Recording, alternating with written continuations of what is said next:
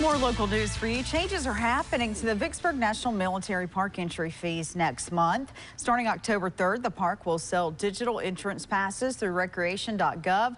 This will happen in the first phase of the park's new cashless fee system rollout. With the service, visitors can purchase an entry or yearly pass online before their visit or when they arrive at the park. The passes are connected to the visitor's license plate number. Staff will either scan or print out the license plate number associated with the pass.